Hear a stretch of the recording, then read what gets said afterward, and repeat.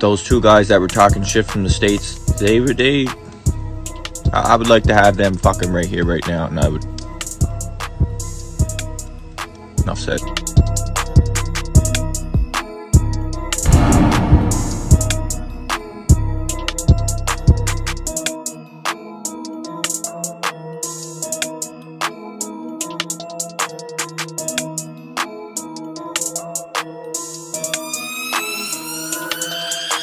Hey, look, Ryan. I don't know you, man. But I'm not him, bro. I'll beat your ass, man. Bulletproof Brandon Glanton. Stop it. I warned you before. You keep saying my name. You keep playing with me.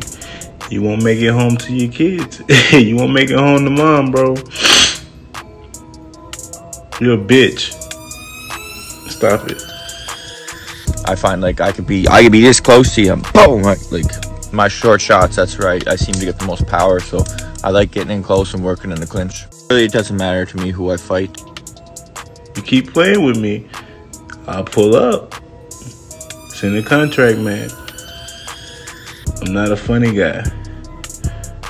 I will end your fucking career, man.